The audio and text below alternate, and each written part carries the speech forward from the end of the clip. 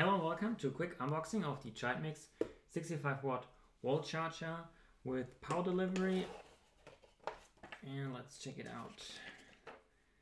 So I bought this one because it would do um, 65 watts on the USB-C port, power delivery one. And it's like a real wall charger where you have the yeah like you can mount it on the wall. So I don't want ones with an extension cable so let's look inside this package so we have the adapters UK, US and Europe. There's the charger itself. So let's look at it this way. Let's start with this. This pin. So that's the US one. I'm going to use the EU one. You can just plug it in like this. Pretty cool. And let's look at the ports.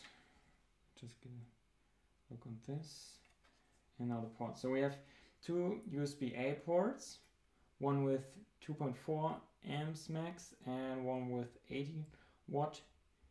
So that's hmm, I'll do the calculation. It's divided by 5 so it will be around 4 amps and the type C one with 65 watts and this will probably go up to not sure what's like 21 volts?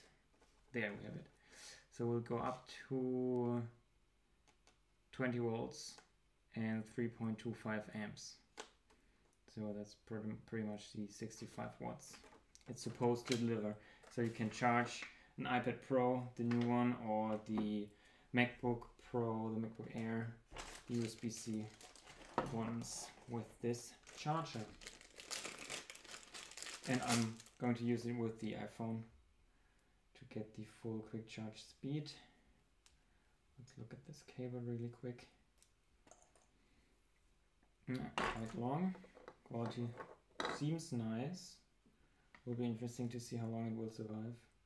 But USB-C to C, plugs just like that. Very cool. Okay, I think. So much for the unboxing. Thanks for watching and see you in the next one.